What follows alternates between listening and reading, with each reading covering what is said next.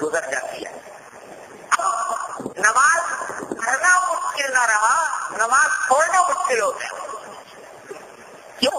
इसलिए कि नफ्स को सुस्ती का मुकाबला कर करके कर करके तो उसको अपनी आदत में तब्दील कर लिया।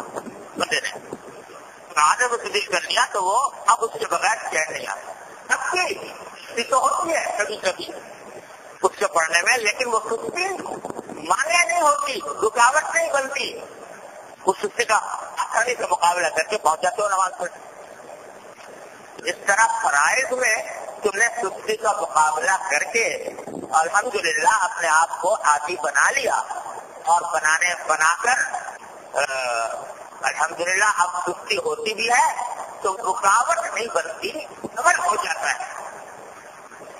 तो जिस तरह वहाँ किया था, इसी तरह नवाफिल और अल्कार और मामूलात में भी यही करना हो।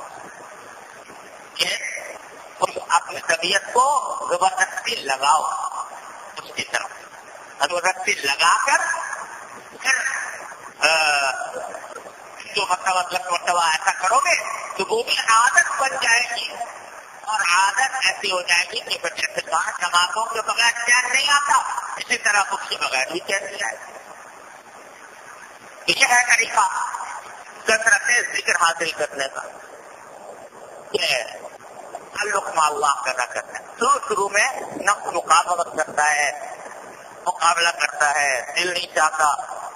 लेकिन आदमी अपने आप को आदि बनाता है बनाता है बनाता है तो रखता रखता अल्लाह तबारक वाला कबूल करवा देते हैं और वो काम होने लगता है तो सुस्ती उसके लिए रुकावट नहीं बनती। ये करके देखो। लोग इस तरह से मुझे क्या करो, सुस्ती होती है सुस्ती होती है। मामूलात पूरे नहीं होते मामूलात के अंदर रुकावट हो जाती है और सुस्ती की वजह से रह जाए अरे भाई, रह जाते हैं तो सुस्ती के का तो कोई इलाज किसी और के पास नहीं है, खुद तुम्हारे पास है। अब तबारक बताना ने ये हर इंसान को अल्लाह तबारक बताना ने ये कुत दी अगर वो चाहे तो ज़बरदस्ती करके वो काम कर। अपने हज़रत के दर्जा बुलंद फरमाए। फरमाया करते थे कि नफ्स को पहला पहलाया, पहला पहला कर ले जाया करो साहब। फरमाने लगे कि एक मरतबा ऐसा हुआ फरमाते हैं कि मैं रात के वक्त में जब तहजीब का वक्त आया तो तबीयत में बड़ा कथल था। और वो कसल हम हम जैसा नहीं था। हम जब हम लोगों को हर वक्त कसल रहता है, लेकिन उस वक्त वाला को हज़रत वाला को जो कसल था, वो वाकता तबीयत की नासाजी की वजह से। तबीयत नासाज थी। इसमें दर्द आखिर उम्र की बात कर रहा हूँ।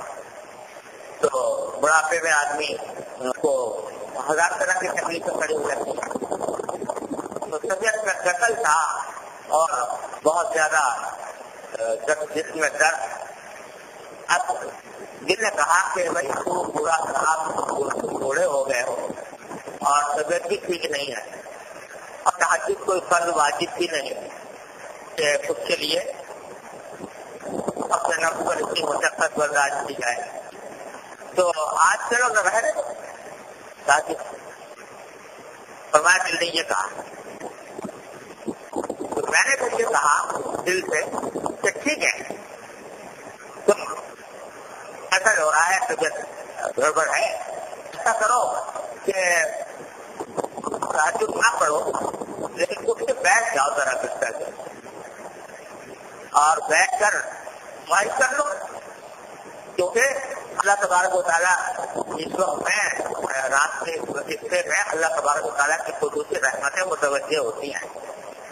तो रहमतें मुतवजह होती हैं तो दुआएँ बड़ी कबूल होती हैं। तो उठ कर बैठ जाओ बिस्तर पे और बिस्तर पे बैठ कर अल्लाह तबारक वाला से दुआ मांग लो। तो सो जाना तो बिठा दिया। दुआ मांगनी शुरू की जब दुआ मांगनी शुरू की तो मैंने अपने नफ्स से कहा बेवजू दुआ मांग रहे हो। तो चलो वज़ू कर लो, वज़ू करके मांग ले। पढ़ना नमाज़। तो समाया के ये तो ख्याल आया तो चलो जाके वज़ू भी कर अगर वज़ू करके दुआ मांगने शुरू की तो फिर मैं मैंने कहा तुम बंदे खुदा, तुमने वज़ू भी कर लिया बिस्तर से भी उठ गए। चल दो रकत पढ़ ले तो अब दो रकत जब पढ़ी तो सोचा कि भाई दो पढ़ी तो चार ही कर लो, फिर ढाई कर लो, फिर आठ ही कर लो। तो मामूली बता दो तो इस तरह फरमाया कि उसको पहला पहला कर नफ्स को ले गए, उस जगह पर और अल्लाह ताला ने पूरा करा दिया। और फरमाया कि एक मरतबा ऐसा हुआ कि वक्त आया किसी मामूलात से अंजाम देने का। तिलावत का ज़िक्र का तो बड़ी स्थिति हो रही थी तबीयत में। और चल नहीं जा रहा। तो दिल ने कहा कि चलो आज कभी छूट भी जाए तो क्या है? मैंने अपने दिल से कहा कि ये बताओ सुस्ती तो हो रही है। लेकिन ये बताओ कि अगर इस वक्त सदर ममलिकत की तरफ़ से कोई पैगाम आ जाए, कि आज तुम्हें बड़ा बात का इनाम देना है, और इस वक्त में बुलाया गया है तो क्या वो सुस्ती बाकी रहेगी? कोई चक्कर हो जाएगी। अगर सदर ममलकत की तरफ़ से ऐलान आ जाए जाए कि भाई तुम्हें फलन चीज़ का नाम दिया जाएगा। क्या होगा? फिर भी कहोगे छुट्टी हो रही है नहीं जाते। अगर दुनिया के एक मामूली हाकिम की तरफ़ से दावत आए, और उस दावत की खातिर तुम्हारी छुट्टी दूर हो रही है तो अक्सर हाकिमीन की तरफ़ से दावत आई हुई है। अल्लाह तबारक ने दावत दी है कि आओ, मांगो किससे मांगो? तो उस दावत को इस सृष्टि को ही तरफ़ कर दो। गरज ये कि इस तरह अपने नफ्स को बहला कर और इस तरह अपने नफ्स को हकीकत हाल से करीब लाकर इस सृष्टि को दूर करना पड़ता और बस करो, कुछ भी ना हो। तो ये तो है ही कि भाई, सुस्ती ही तो है ना। तो कितने काम है जिनसे सुस्ती होती है? लेकिन आदमी रख पड़ता है और उसको सोचता है कि इसको करना ही करना है हर हाल में। इसे अगर नहीं करूँगा तो बहुत बड़े ऐसे से करूँगा उसको मुलाजिम है कहीं पर वादवत पे जाना है। तो सुबह को उसे बहुत सवेरे उठ के और रवाना होना पड़ता है घर से तो अगर ही वक्त नहीं पहुंचेगा, दफ्तर। तो तनख्वाह कटेगी तनख्वाह नहीं मिलेगी मुलाजमत हो सकता है माजूरी कर दिया जाए। ये फ़िक्र है दिमाग में लिहाजा चाहे सुस्ती हो, चाहे मशक्कत हो, दिल का चारा हो, लेकिन आदमी हाथ कीमत से उठ के जाता है। हो जाता है इस वास्ते कि दिल में अहमियत है, उस तनख्वाह की जो इस मुलाजमत के नतीजे में मिलने वाली है। मुलाजमत की तनख्वाह से मोहब्बत हो गई है, उस मोहब्बत की वजह से यह सुस्ती बर्दाश्त करता है। तो अल्लाह तबारक वाला के साथ साथ लोग कायम करो, चाहे सुस्ती हो रही चाहे कुछ हो रहा हो, लेकिन मैं ये काम करूँगा। जब ये आदमी करना शुरू कर देता है और करता रहता है, इसकी मशक हो जाती है तो यही चीज़ अल्लाह के साथ एक खास ताल्लुक पैदा कर देता है। ताल्लुक अल्लाह से यही मामला नाव से बचने का है। ये जरा ज़्यादा इसमें अपने नफ को ज़्यादा दबाना पड़ता है। क्योंकि गुना ऐसी चीज़ है, अल्लाह बचाए अल्लाह ताला हम मुसलमान को महफूज जब उसके तकाजे पैदा होते हैं तो बड़ी शिद्दत से आते हैं। हम ये महसूस करता है जैसे मैं मजबूर हो गया। उस गुना के तकाजे से मजबूर हो गया। समझने लगता है इधर तक पहुँच जाता है। आपके हालात से मजबूर नहीं होता। लेकिन शैतान और नफ्स मिलकर उसको गुनाह के ऊपर इस तरह आमादा करते हैं, जैसे ज़बरदस्ती उसको मजबूर कर दिया है इस गुनाह पर। इस मौके पर दाइए का मुकाबला करके और अपने आप को रोकना ये फल शुरू में बहुत मुश्किल होता है। बहुत मुश्किल होता है शुरू में। लेकिन इस मुश्किल के बावजूद जो तक ये तहिया कर ले कि इस मुश्किल का मुकाबला करूँगा। और चाहे सीने पर आरे क्यों ना चल जाए और कितना ही। दिल पर बोझ क्यों ना हो जाए? मशक्कत क्यों ना उठानी पड़े? लेकिन ये काम नहीं करूँगा इसकी कीमत पर नहीं करूँगा। तो क्या होगा? ये जो अमल कर लिया इंसान ने, ज़बरदस्ती अपने आप को रोक लिया, ये चीज़ बहुत तेज़ी से अल्लाह तबारक वारा के साथ ताल्लुक को कमी करती है।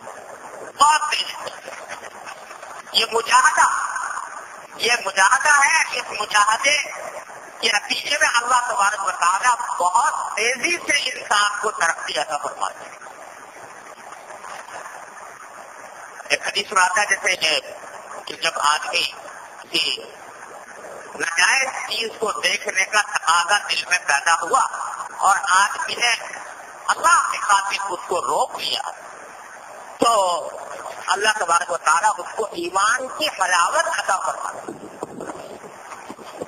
स्वास्थ्य की मुजाहदा ऐसी चीज़ें कि उससे अल्लाह तबारक तारा के साथ बहुत तेज़ी के साथ, तेज रफ्तारी के साथ ताल्लुक कर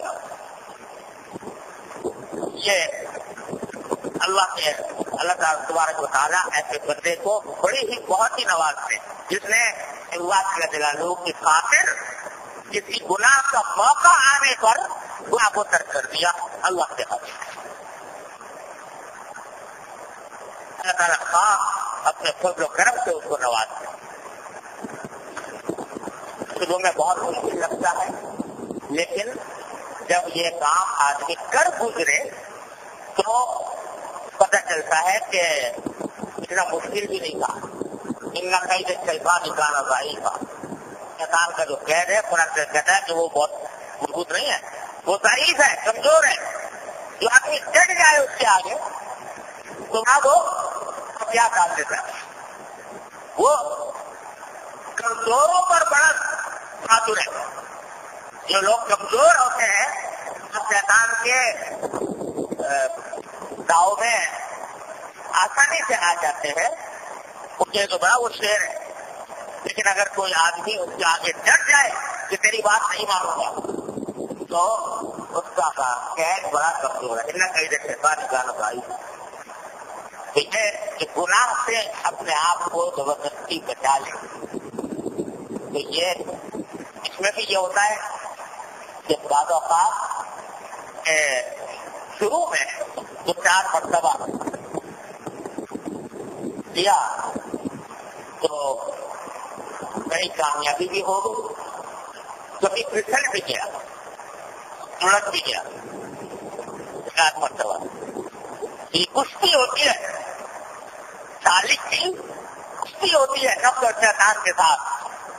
कुश्ती में क्या होता है कि कभी इसने गिरा दिया कभी इसने गिरा दिया ऐसा रहता है फिर लेकिन अगर आदमी हिम्मत ना हारे और लगा रहे तो फिर आखिर अल्लाह तबारक बताना प्रकाशी को अदा और